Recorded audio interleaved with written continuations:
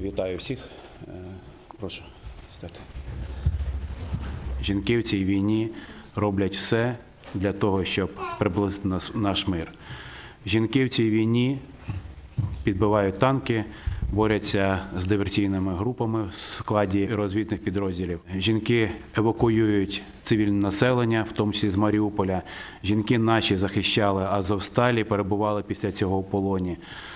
Тому цей подвиг, який скоює жінка, е, робить жінка, він назавжди буде закарбований е, в скрижалі нашої, нашої великої історії, нашої держави.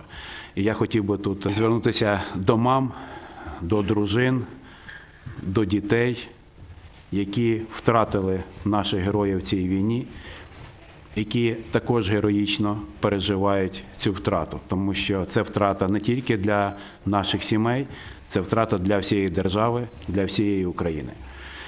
І е, сьогодні я хотів би сказати е, слова вдячності всім військовослужбовцям, працівникам поліції, всім рідним наших героїв за те, що ви вистояли, за те, що ви боретесь, за те, що ми всі разом наближаємо нашу велику перемогу. За проявлену особисту мужність та відвагу, стійкість та рішучість при виконанні військового та службового обов'язку в умовах, пов'язаних з ризиком для життя, під час заходів і забезпечення національної безпеки і оборони, відсічі і стримуванні збройної агресії РФ нагороджено Шастуна Ігоря Михайловича, старшого сержанта, орденом за мужність третього ступеня та орденом за мужність другого ступеня.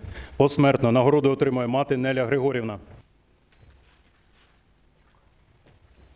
Нагороджено орденом за мужність третього ступеня Грищенка Романа Валерійовича, старшого сержанта, посмертно. Нагороду отримують мати Тетяна Іванівна, дружина Євгенія Володимирівна, син Олександр Романович та тонька Ольга Романівна.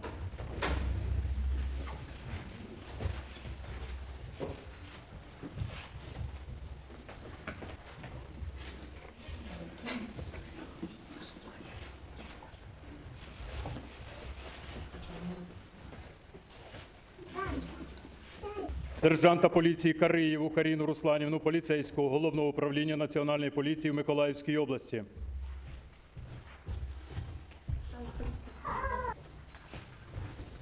Служу українському народові.